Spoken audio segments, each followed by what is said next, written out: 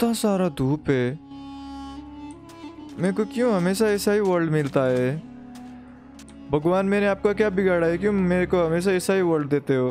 पिछली वाली वीडियो में भी मेरे को जो भी जोम्बी एपोकलिप्स में डाल दिया वो भी रेगिस्तान में। और इस बार भी भाई क्यों क्यों? मैं आ, मैं आपसे चैलेंज करता हूँ भगवान। अगर अगर तुम मेरे को थोड़ा सा भी प्यार करते हो तो मेरे को ऐसी जगह पर भेज दो जहाँ की पानी ही पानी हो। और मैं मैं ठंड ठंडे ठंडे मौसम में रह सकूँ। प्लीज़ भेज दो ना। हम्म। क्या हो रहा है? What? ये मैं कहाँ आ गया? ओ माय गॉड वाह कितना ठंडा है इधर। कितना मज़ा आ रहा है ना? लेकिन एक मिनट। मेरे को ज़मीन क्यों नहीं दिखाई दे रहा? क्या मैं समुंदर के बीच में हूँ क्या? ओ सीट अब मेरे को इधर ही सर्वाइव करना पड़ेगा। वो भी हार्ड हार्डकोर लगा हुआ है अभी तो। ओ शिट तो हेलो गाइस कैसे हो आप सभी लोग? मेरा नाम है कुप्पी और आज हम फिर से खेलने वाले माइनक्राफ्ट हार्डकोर और ट्राई करने वाले हैं कि हम हार्डकोर मोड में वो भी ओनली ओशियन बायोम में 100 डेज़ तक सरवाइव करने की। तो पिछले कुछ दिनों में हमारे चैनल में बहुत अच्छा रिस्पॉन्स आ रहा है। तो thank you so much for every one of you it means a lot to me तुम लोग ऐसे ही सपोर्ट बनाए रखना। मैं अपना 100% देकर बहुत ही अच्छे वीडियो बनाने की प्रयास करूँगा।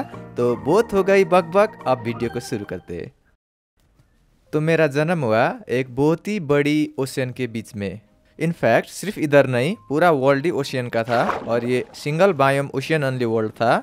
और इस वर्ल्ड में ज़मीन के नाम पर सिर्फ़ छोटा छोटा कुछ आइलैंड्स मिलेंगे, जिसमें भी ट्रीज के नाम पर कुछ नहीं होगा तो वुड के लिए बहुत प्रॉब्लम होने वाली है इस गेम में। तो पहले दिन मैं निकला शिपरेक को ढूँढने के लिए, क्योंकि अगर ट्रीज नहीं है तो ऑब्वियसली तुम्हें शिपरेक ही चाहिए होगा वुड के लिए। तो मेरे स्पॉन के पास ही मेरे को एक शिपरेक मिला।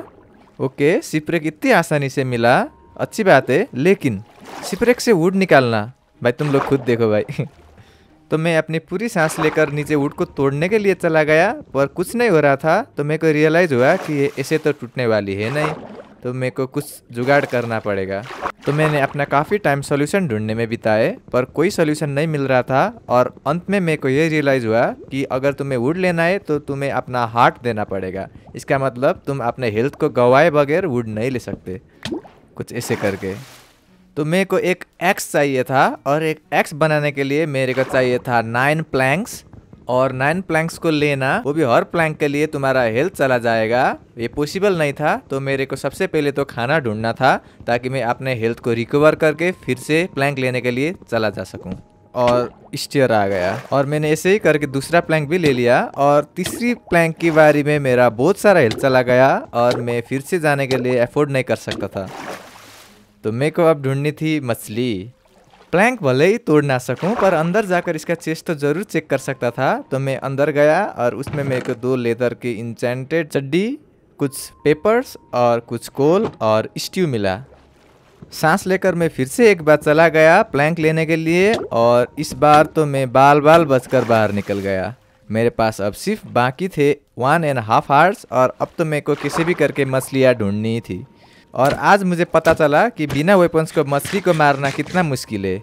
उन्हें तीन शॉट मारना पड़ता था और भाई वो बहुत तेज़ भागती थी तो उन्हें पकड़ना बहुत मुश्किल हो रहा था। और सबसे दिक्कत की बात ये थी कि इससे मेरी सिर्फ़ एक तंगड़ी बढ़ रही थी तो अपना हेल्थ को फुल्ली रिकवर करना बहुत टाइम लगने वाला था। बहुत मतलब बहुत ही ज़्यादा। तो पूरे दिन मजुआ बनने के बाद मेरे पास ठीक ठाक हेल्थ हो चुकी थी तो मैंने फिर से एक प्लैंक को लेने के लिए चला गया पर इस बार तो भाई बहुत ही ज़्यादा हेल्थ गई मेरी। अगले दिन भी, मैं मछली मार रहा था तभी पीछे से एक ट्राइडेंट आया और जिस मछली को मैं मारने वाला था उसे मार दिया। मेरे पीछे एक ड्राउंड पड़ा हुआ था तो मैं बहुत जल्दी उधर से निकल गया और उससे निकलने के चक्कर में मेरा शिपरेक हो गया। भाई मैं पता नहीं चल रहा था कि किधर था शिपरेक तो पूरा दिन लगाकर मैंने फाइनली अपने शिपरेक को ढूंढ लिया और उधर से प्लैंक लेने लगा। इस बार मैं दो प्लैंक्स ले पाया और उन प्लैंक्स से मैंने बनाया एक क्राफ्टिंग टेबल और कुछ स्टिक्स और मेरे को चाहिए था सिर्फ़ दो और प्लैंक्स और मैं एक एक्स बना सकता था। पर मेरे खाना फिर से ख़त्म हो चुकी थी तो फिर से मैंने कुछ देर तक फिशिंग किया, अपने हेल्थ को रिकवर किया और फिर से चला गया एक और प्लैंक लेने के लिए। सिर्फ़ एक वुडन टूल बनाने के लिए मेरे को इतनी मेहनत लग रही थी मेरे इस वर्ल्ड में तीन दिन होने वाले थे और मेरे पास अभी तक एक भी बेसिक टूल नहीं था। तो फाइनली डे टू की रात में डे थ्री शुरू होने से पहले मेरे पास इनफ प्लैंक्स हो गए और मैंने अपने लिए एक एक्स बना लिया। शायद इस वर्ल्ड में मैं पहला इंसान होऊँगा जिसने तीन दिन लगाकर एक वुडन एक्स बनाया है। तो अब मेरे पास एक वुडन एक्स था तो मैं अपने हेल्थ को गवाए बगैर ही प्लैंक्स ले सकता था। तो फाइनली काम आसान होने वाली थी। और मछलिया को भी मैं अब एक शॉट में मार सकता था तो खाने का प्रॉब्लम भी अब ऑलमोस्ट सॉल्व हो चुका था। बस ये बारिश रुकने का नाम नहीं ले रही थी। तो मैंने रात भर लगाकर ढेर सारा प्लैंक्स को लिया और फाइनली एक डुअर बनाया। तुम लोगों को एक प्रो टिप दे रहा हूँ, अगर तुम लोग पानी के अंदर ऐसे करके डुअर को रखोगे तो तुम सांस ले सकते हो और बहुत ही आसान होगा तुम्हारा पानी के अंदर का काम। उसी ब्रेक में मेरे को एक और चिस्ट मिला, जिसमें मेरे को ढेर सारा वीट पेपर कोल और गन पाउडर मिला। उतने में ही वहाँ पर एक ड्राउंड आ गया और मैंने उसको मार दिया और उसके बाद पूरे शिप को लूटने लग गया। मैंने ढेर सारा वुड कलेक्ट किया उस शिप रेक से। अगली सुबह मैं निकला एक्सप्लोरेशन के लिए। रास्ते में मेरे को कुछ डॉट मिले जो कि मैंने उठाया और आगे बढ़ता चला गया।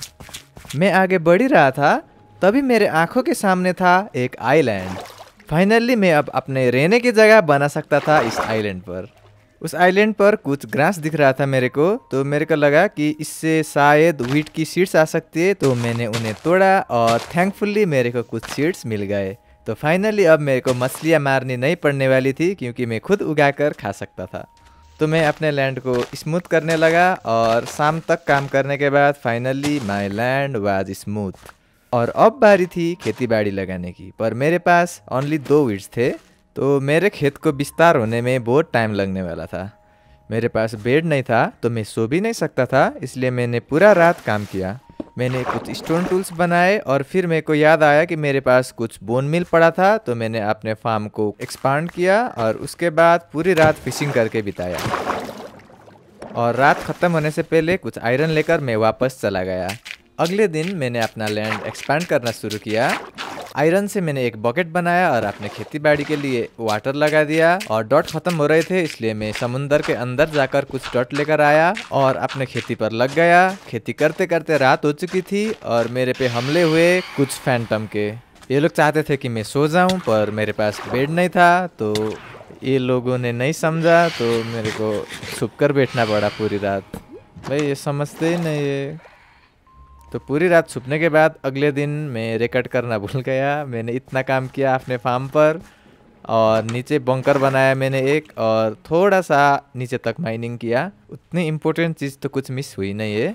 तो अगले दिन मैं निकला एक्सप्लोरेशन के लिए। मेरे को दो आइलैंड मिले और उसमें कुछ शुगर कैन थे तो मैंने अपने आइलैंड पर वो शुगर कैन लगा दिया और मैं फिर से निकला और इस बार मेरे को मिला एक अंडर वाटर विंड पोर्टल और इसमें से मेरे को ऑप्सीडियन और कुछ आयरन इंगर्ट्स मिले।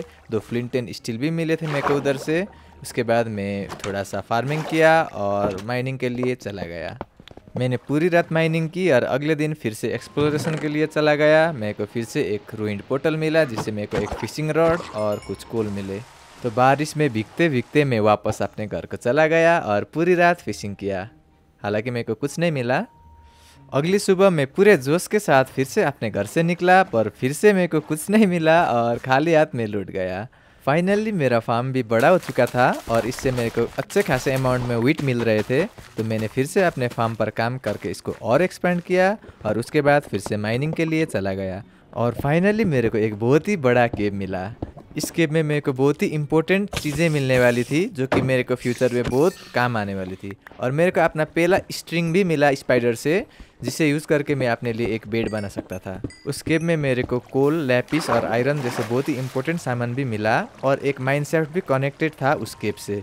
तो मेरे को बहुत इजीली अब स्ट्रिंग मिलने वाली थी और लावा पुल भी मिला, जिससे मैंने जल्दी से अपने लिए एक नेदर पोर्टल बना लिया। दस दिन हो चुके थे मेरे इस वर्ल्ड में और दस दिनों के अंदर मैंने बहुत कुछ कर चुका था। मेरा कुछ मॉब से फाइट हुआ और उसके बाद मैं माइनसाफ्ट में चला गया। माइनसाफ्ट मेरे लिए बहुत ही इंपॉर्टेंट था क्योंकि उससे मेरे को ढेर सारा वुड और स्ट्रिंग्स भी मिलने वाला था। मेरे को कुछ डायमंड्स भी मिले जो कि मैंने नहीं माइन किया और फ्यूचर के लिए उन्हें छोड़ दिया। फाइनली उस रात को मैं लौटा ढेर सारा वुड और स्ट्रिंग्स को लेकर। मेरे पास अठारह स्ट्रिंग्स हो चुके थे। मैंने उन स्ट्रिंग्स से अपने लिए एक बेड बनाई और दस दिनों के बाद फाइनली आराम से सो गया।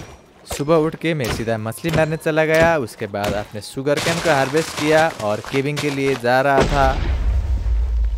तो finally it was time to go in to the nether and मैं इतना लक्की था। भाई मैं लिटरली क्रिम्सन फॉरेस्ट के सामने स्पन हुआ। इसका मतलब मेरे को वुड की कोई प्रॉब्लम नहीं होने वाली थी अब। जब चाहो तब आकर वुड को लेकर जा सकता था। और मेरे को ढेर सारा बोन ब्लॉक्स भी मिले, जिसे यूज़ करके मैं अपने खेती को बहुत जल्दी ग्रो कर सकता था। और पता नहीं क्यों ये लोग मेरे से बहुत ही गुस्सा थे। एक जगह से ये होगलिन और दूसरी जगह से ये घास। मैं दोनों मिलकर मेरे को अटैक कर रहे थे। और जब मैंने उसको मारा तो मैंने उसके अंदर घुस गया, पर फिर भी वो नहीं मरा। माय गॉड बहुत ही मुश्किल से ज़िंदा बचा भाई मैं उधर। और इधर से भागकर मैं क्रिम्सन फॉरेस्ट की ओर बढ़ा। इस होप में कि उधर कुछ खतरा ना हो, पर उधर भी मेरे को एक हॉगलिन ने अटैक किया। मैं जाऊँ तो किधर जाऊँ? मेरे पास अब कोई रास्ता ही बचा नहीं था। और फिर फिर मैं घूमकर उधर से भी वापस चला गया। और और मैं अपने नेदर के अंदर जाना ही वाला था, तभी देखो क्या हुआ। ओ माय गॉड भाई कोई नहीं चाहता था कि मैं वापस लौट जाऊँ। थैंक गॉड मैंने अपने साथ क्लिंटन स्टील लाया था, वरना मैं भाई सदा के लिए नीदर में ही मतलब फंस गया था। और मेरा पहला नीदर का जर्नी भाई मेमोरेबल हो चुका था। Oh my God day twelve से मैंने अपने लिए एक्सपी फार्म बनाना शुरू किया। ये एक्सपी फार्म को बनाना बहुत ही टाइम कंज्यूमिंग था, पर किसी भी करके मेरे को ये बनाना ही था, क्योंकि मेरे को एक्सपी की बहुत कमी हो रही थी और मेरे को ढेर सारा इंचेंटमेंट भी करना था। इससे कंप्लीट होने में बहुत सारा टाइम लगने वाली थी, इसलिए मैंने इसको बहुत ही जल्दी शुरू किया। और अगले दिन मैं फिर से निकला नेदर के लिए, और इस बार का जर्नी नेदर का मेरे लिए बहुत ही इम्पोर्टेंट था, क्योंकि इस बार मेरे को पता चला कि ये हॉगलिन्स लेदर ड्रॉप करती है। ओ माई गॉड मैं मैं बुक्स बना सकता था भाई। फुल इंसेंट कर सकता था। लेवल थर्टी इंसेंट हॉगलिन्स और पिगलिन्स का बहुत ही खतरनाक फाइट चल रहा था। तो मैंने पिगलिंस का साथ दिया, क्योंकि मेरे को हॉगलिन्स का लेदर चाहिए था ऑब्वियसली और पिगलिंस के साथ कुछ ट्रेडिंग किया, पर कुछ अच्छा सामान नहीं मिला। लौटते वक्त मेरे को एक एंडरमैन मिला, जिसने मेरे को एक एंडर आई दिया। और फिर से मैं माइंड से प्लैंक्स कलेक्ट करने लग गया, और तभी मेरे को कुछ एक्सपोज डायमंड्स मिले। मैं आराम से माइन कर रहा था, तभी फिर से आ गया भाई ये। तो इस बार मैंने डायमंड्स को ले लिया क्योंकि भाई विलेजर्स को पाना और फॉर्च्यून इंसेंटमेंट पाना बहुत ही मुश्किल था और मेरे को फिर से कुछ और डायमंड्स मिले। मेरे पास बहुत सारे डायमंड्स हो चुके थे और मेरे को डायमंड्स मिलते ही जा रहे थे। माइंड बहुत ही बड़ा था और मेरे को एक और चेस्ट मिला जिसमें ब्रेड और नेम टैग था, जो कि बहुत इंपॉर्टेंट था और मेरे को कुछ और डायमंड्स मिले और भाई डायमंड्स तो भाई आयरन जैसे मिल रहे थे। और जब मैं लौटा तब एक वंडरिंग ट्रेडर मेरे बेस में था। और मैं उसके ट्रेड्स को चेक करने के लिए चला गया और बहुत ही इंपॉर्टेंट ट्रेड सेल कर रहा था वो। भाई, उसके पास सैपलिंग्स था, पर भाई, मैं ख़रीद नहीं सकता था क्योंकि मेरे पास एमरल्स ही नहीं थे तो सैडली मैं कुछ नहीं कर पाया। और उसके बाद मैंने अपना पूरा दिन अपने एक्सपी फार्म पर काम किया और फिर से माइनसेफ्ट को एक्सप्लोर करने के लिए चला गया। इस बार मेरे को एक और चेस्ट मिला, जिसमें था एक गोल्डन एप्पल और कुछ मेलन्स के सीड गोल्डन एप्पल मेरे लिए बहुत ही इंपॉर्टेंट होने वाला था बाद में। तो मैंने अपने डायमंड से अपने लिए आर्मर बनाया, पर आर्मर बनाने के चक्कर में सारा डायमंड को ख़त्म कर दिया तो मेरे को जो डायमंड शुरू में मिला था, उसे माइन करना पड़ा और मैंने अपने लिए एक इंचमेंट टेबल भी बना लिया। नेदर में जाकर कुछ लेदर कलेक्ट किया मैंने और अपने पोर्टल को सेव किया और वापस अपने एक्सपी फार्म पर लग गया। मैंने शाम तक अपने एक्सपी फार्म पर काम किया और उसके बाद उस ट्रेडर के कैमल को मारकर फिर से माइनिंग के लिए चला गया। इस बार मैंने तीन दिन तक माइन करके ढेर सारा कॉबलस्टोन को इकट्ठा किया और फाइनली मैं अब अपना एक्सपी फार्म को कंप्लीट करने वाला था। इस फार्म को कंप्लीट करने में मेरे को बहुत सारा टाइम लगा। सारे दिन और सारे रात एक करके मैं सिर्फ़ अपने फार्म पर काम कर रहा था और मेरे लिए ये इतना इम्पोर्टेंट था कि मेरे को ये काम जैसे भी करके करना ही था। क्योंकि भाई एक्सपी के बिना तो बहुत ही मुश्किल होने वाला है। और भाई मुझे तो बहुत ही ओपी इंचेंटमेंट करनी थी इस बार तो। मतलब एकदम मैक्स लेवल इंचेंटमेंट तो मैंने फाइनली अपने एक्सपी फार्म को कंप्लीट कर दिया और बहुत ही सेटिस्फाइंग वाला छलांग लगाई। तो ऐसे करके डे 18 हो चुका था और मैंने अपने बचा हुआ कुछ दिन अपने बेस को थोड़ा रिनोवेट किया और फाइनली डे 20 पर मेरे पास था एक fully functional XP farm okay okay functional का पता नहीं था, पर एक्सपी फार्म तो था, ठीक है? तो अगले दिन से मैंने अपना बेस को एक्सपैंड करना शुरू किया। मैं एक एक करके बेस के सारे साइड्स को एक्सपैंड कर रहा था। उसके बाद मैंने अपने लिए एक बो बनाया, अपने बंकर को थोड़ा एक्सपैंड किया और उधर अपने इंचेंटमेंट टेबल को रख दिया। मेरे पास जितने लेदर थे, उनसे मैंने बुक बनाई और उनसे मैंने बुक सेल्फ बनाई। अब मेरे को अपने इंचेंटमेंट टेबल को मैक्स करना था, इसलिए मैं लेदर के लिए नेदर चला गया। क्या राइम किया ना मैंने? तो हाँ मैंने बहुत सारा हॉगलिन्स को मारे और मैंने बहुत सारा लेदर को कलेक्ट किया और फाइनली मेरे पास अब इतने सारे लेदर हो चुके थे कि मैं अपने लिए बहुत सारा बुक्स बना सकता था। मैंने इन सारे हॉगलिन्स से 23 लेदर को कलेक्ट किया, जिससे 23 बुक्स बने, पर अब भी सिर्फ़ सात बुक सेल्फ बना सकता था मैं। तो अभी भी मेरा इंचेंटमेंट टेबल मैक्स लेवल का नहीं हुआ था। अगली सुबह मैंने फ़ार्मिंग की और फिर से लेदर कलेक्ट करने के लिए नेदर में चला गया। इस बार तो भाई मेरा जान, भाई कैसे बचा तुम लोग खुद देखो। ओ माय गॉड मैं लिटरली मैं वन हार्ट में बचा था इधर। भाई ये ऑगलेंस बहुत मारते हैं भाई। देखो मैं, भाई लाइट का ब्लॉक लगा कर बचा था इधर। और एक और बहुत ही इपिक चीज़ हुई इस बार नेदर में। मैं रैंडमली ऑगलेंस को मारकर चल रहा था, पर मैं को नेदर फोर्ट्रेस दिखा भाई। तो भाई मैं एक बार चेक करने के लिए अंदर चला गया, और भाई बहुत ही भाई मैं, बहुत बड़ा गलती था मैं। बाल बाल बच के निकला इधर से। और सबसे दुख की बात यह है कि मेरे को एक भी ब्लेजर अर्ट्स नहीं मिले, इतने मेहनत करने के बाद। देखो भाई, मैं किस, किसे फंसा हुआ था। मैं उस लायक नहीं था कि मैं इनसे अभी लड़ पाऊँ। इधर इधर देखो मैं कैसे बचा भाई, मेरे को ये सब सब जगह से घेर चुके थे। तो भाई, मैं मैं, मेरे को पता चल चुका था कि मैं उधर कुछ कर नहीं पाऊँगा तो मैं उधर से कल्टी मारी मैंने। और जाते जाते मेरे को चेस्ट में ढेर सारा आयरन गोल्ड और डायमंड भी मिला। और एक विदर को भी मार दिया भाई मैंने लगाया तो। मैं वापस अपने बेस पर पहुँच गया और जब मैंने नेदर रैक को स्टोन कटर से काटने का ट्राई किया तो मेरे को पता चला कि ये नहीं काटता है। तो मेरे को नेदर रैक से ही बनाना पड़ा अपना बाकी का बेस मैंने बहुत सारा मेहनत करके रात तक काम किया और फाइनली अपना एक्सपेंशन को कंप्लीट किया। उसके बाद मैंने कुछ बुक सेल्फ बनाए और सो गया। अगले दिन मैं चला सीधा अपना इंचैंटमेंट टेबल पर और अपने नया बुक सेल्फ को रख दिया, एक शॉर्ट बनाया और फिर से गया नेदर में लेदर को कलेक्ट करने के लिए। मेरे को बहुत ही ठंड लग रही थी तो खुद को भी जला डाला एक बार तो मैं कुछ भी कह रहा हूँ मैं। भाई, बाल बाल बचा था इस बार तो मैं। ओ माय गॉड अगर एपिकलिस ने हेल्प नहीं किया होता तो भाई मैं मर चुका था। वैसे तो मैं पीछे से बार नहीं करता हूँ, पर इस बार किया, पता नहीं क्यों।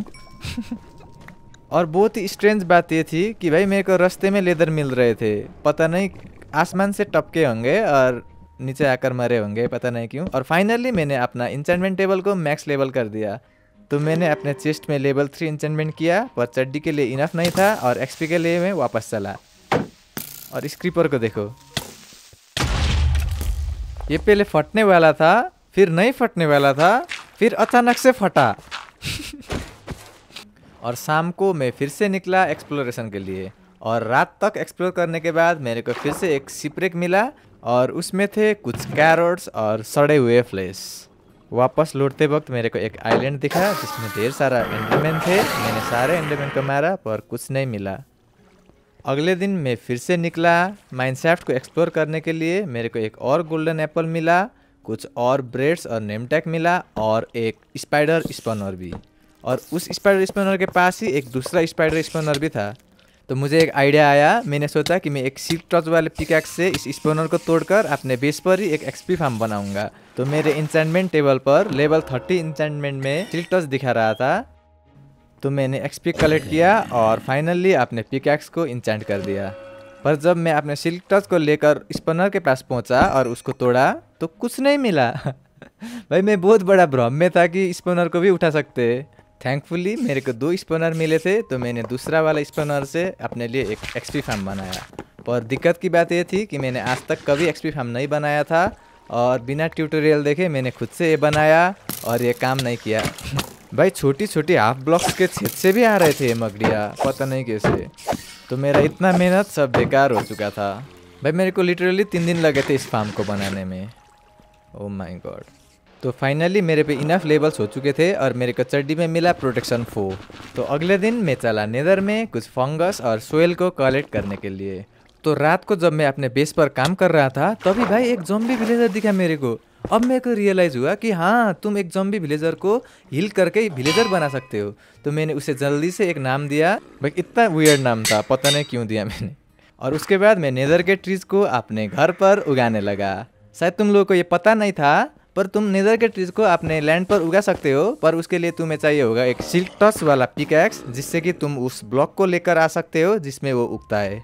जोम्बी विलेजर को हिल करने के लिए मेरे को चाहिए था ब्रीविंग स्टैंड जिसके लिए ब्लेज चाहिए होता है। तो ब्लेज को लेने के लिए मैं चला नेदर फोर्ट्रेस और मैंने एक ब्लेज को पाया, और भाई, इस बार भी मैं बाल बाल बचा था नेदर फोर्ट्रेस में। देखो किससे बचा मैं। Literally I had one hearts और फायर प्रोटेक्शन के बिना नेदर फोर्ट्रेस में जाना। नॉट अ गुड आइडिया वापस लौटते ही मैंने ब्रूइंग स्टैंड बनाया और पोषण बनाना शुरू किया। पर मेरे को तभी रियलाइज़ हुआ कि ब्रूइंग स्टैंड को चलाने के लिए ब्लेज पाउडर चाहिए होता है। भाई, मेरे को फिर से जाना पड़ा उसके बाद नेदर फोर्ट्रेस पर। मैं बहुत ही होशियारी से लड़ रहा था, पर फिर भी वो सारे मिलकर मैं अकेला को मार रहे थे और भाई, मेरा वाट लगा रहे थे। और एक नई बात पता चला मेरे को कि तुम क्रिम्सन फॉरेस्ट वाले वुड को बंद नहीं कर सकते, पर उसे स्टिक बनाकर बंद कर सकते हो। वाह लॉजिक भाई, मेरे को ये तो पता चल चुका था कि फायर रेजिस्टेंस के बिना इन लोगों को हरा पाना इम्पॉसिबल है। मैं बहुत ही मुश्किल से उन लोगों से लड़ा और चार ब्लेज रॉड लेकर वापस चला गया। फाइनली अब मैं अपने विलेजर को हील कर सकता था। और ये लो, इसी का कमी था। तो मैंने अपने वीकनेस पोशन को अपने विलेजर को दिया और उसके बाद उसे एक गोल्डन एप्पल दिया और वेट करने लगा उसके रिकवर होने की। और बहुत देर तक वो रिकवर नहीं हो रहा था तो मैंने सोचा सुबह तक होएगा तो मैं सो गया और सुबह उठकर पेट कट रहा था तभी नोटिफिकेशन आया कि वो रिकवर हो चुका है। भाई हम भी डॉक्टर बन चुके थे ज़िंदगी में पहली बार। ओ माई गोड नेदर वाला ट्री का लिप्स जो होता है वो मेरे को बहुत ही प्यारा लगा इसलिए मैंने उसे तोड़कर अपने बेस पर लगाना शुरू किया। तो अगले दिन मैंने ढेर सारे पेड़ को उगाए, उनके लिप्स को तोड़ा और अपने बेस को एक्सपैंड किया। मैंने अपने विलेजर को एक फ्लेचर में बदल दिया और स्टिक्स को सेल करके एमरल्स भी कमाया। मेरा डायमंड आर्मर टूटने वाला था, इसलिए मैंने उसे उतार कर चेस्ट में रख दिया और अभी के लिए आयरन आर्मर पहन लिया। Finally it was day forty और डे फोर्टी पर मेरा बेस कुछ इस तरह का लग रहा था। और डे फोर्टी वन भाई, क्यों?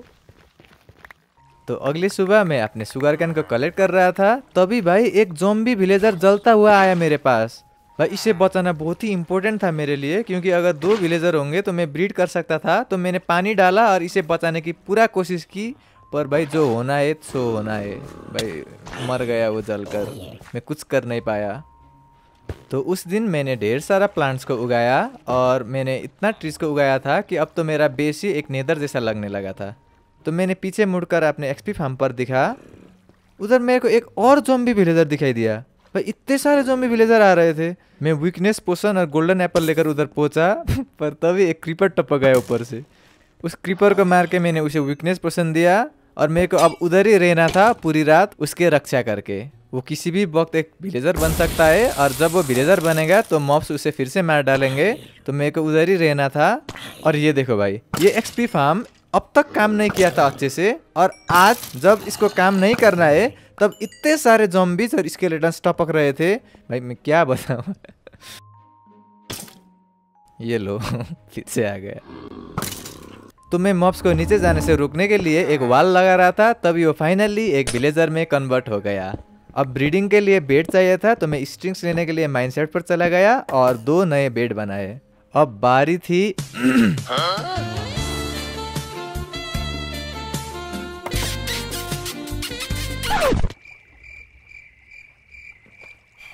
भाई, इनका लव स्टोरी तो शुरू होने से पहले ही ख़त्म हो गया। ये लोग कॉम्पेटेबल नहीं थे एक दूसरे से। और इससे भी दुख भरी बात एक और थी। जब मैं सुबह उठा तो मेरा विलेजर भाई आग में जल रहा था, वो जम्बी बन चुका था। और मैं जब दूसरे विलेजर को ढूँढने गया, वो भी नहीं था। मेरा इतने दिनों का मेहनत और मेरा विलेजर सब कुछ खत्म हो चुका था। तो मैंने अपने बो पर इंचेंटमेंट लगाया, जिसमें मेरे को इन्फिनिटी और पावरफुल मिला। मैंने अपने स्वॉर्ड और आयरन पिक्स पर भी कुछ इंचेंट किया और चला मैं नेदर में ब्लॉक्स को कलेक्ट करने की, क्योंकि अब बारी थी घर बनाने की। कुछ दिनों तक काम करने के बाद फाइनली मेरे पास इनफ ब्लॉक्स हो चुके थे तो मैं लग गया अपने घर को बनाने। मैंने पहली बार ये ट्री को यूज़ करके घर बना रहा था और इसका कलर मेरे को बहुत ही पसंद आ रहा था। और एक और मज़े की बात थी इस ट्री में, तुम्हें एक नेचुरल लाइट सोर्स भी मिलता था। मैं सब कुछ खो चुका था, इतने सारे विलेजर सब मर गए। अगर कोई पूछेगा कि तूने क्या किया पचास दिनों में तो मेरे को दिखाने के लिए भी कुछ नहीं था। तो मेरे को अपने घर बहुत ही मेहनत से, बहुत ही अच्छा बनाना था। तो मैं खूब मेहनत करके अपने घर पर काम कर रहा था, तभी पता पता नहीं इससे मेरा क्या दुश्मनी है भाई। हमेशा आता है ऐसे ही। तो डे फोर्टी नाइन तक मेरे पास अपना बहुत ही सुंदर प्यारा सा घर बन चुका था। बहुत प्यारा, भाई मैंने आज तक इतने मेहनत से घर नहीं बनाया था और, ओके, थोड़ा गलिस लुक है पिंक कलर के वजह से, वरना बहुत अच्छा है भाई घर। कमेंट में बता देना तुम लोगों को कैसा लगा। तो फाइनली डे फोर्टी नाइन हो चुका था और अब सिर्फ़ एक दिन बचे थे डे फिफ्टी होने के लिए। बाहर बहुत जोरों की बारिश हो रहा था तो मैंने थोड़ा फ़ार्मिंग किया और अपने बेड लगाकर अपने नए घर पर सो गया। It was day fifty the last day for this video okay चिंता मत करो, अगले वीडियो में आएगा, बाकी का फिफ्टी डेज़ तो मैं माइनसेफ्ट को लूट रहा था, तभी मेरे को एक गोल्डन एप्पल मिला और एक नेम टैग भी। और तभी मैं पहुँचा एक जोम्बी स्पोनर पर। उन लोगों के चेस्ट से मेरे को मिला इंचेंटेड गोल्डन एप्पल और ल्यूर थ्री वाले इंचेंटेड बुक और कुछ नेम टैक्स और आयरन भी मिले। तो मैं और एक्सप्लोर करने के लिए चला गया और मेरे को एक और चेस्ट मिला उस माइनसेफ्ट में। इस चेस्ट में था एक और गोल्डन एप्पल तो फाइनली मेरे पास फिर से दो गोल्डन एप्पल हो चुके थे। तो रात हो चुका था, इसलिए मैं वापस अपने बेस पर चला गया और एक मगड़ी को मारकर जब मैंने अपने एक्सपी फार्म पर दिखा तो फिर से वहाँ खड़ा था एक और zombie villager oh my god मैंने उस जोम्बी विलेजर को पानी के अंदर कैद कर लिया ताकि मैं उसे उधर सेफ़ रख सकूँ और एक विलेजर में कन्वर्ट कर सकूँ। मैंने उसको एक वीकनेस पोशन भी दिया और फाइनली अपना गोल्डन एप्पल तो फाइनली इट इज़ डे 50 और हमने सक्सेसफुली डे 50 तक सरवाइव कर चुके हैं। पर क्या हम अगली 50 डेज़ तक भी सरवाइव कर पाएँगे? क्या हम एंड्रैगन को हरा पाएँगे? क्या हम फिर से एक विलेजर की फैमिली को रेज कर पाएँगे? तुम लोगों को जानना है ना? अगर जानना है तो सब्सक्राइब कर देना और बेल नोटिफिकेशन ऑल पे कर देना ताकि मेरे हर वीडियो के नोटिफिकेशन तुम्हें टाइम पर आ जाए और तुम लोग कोई भी वीडियो को मिस ना करो। तो आई होप तुम लोगों को ये वीडियो पसंद आया। मिलते हैं अगले वीडियो में, तब तक के लिए बाय बाय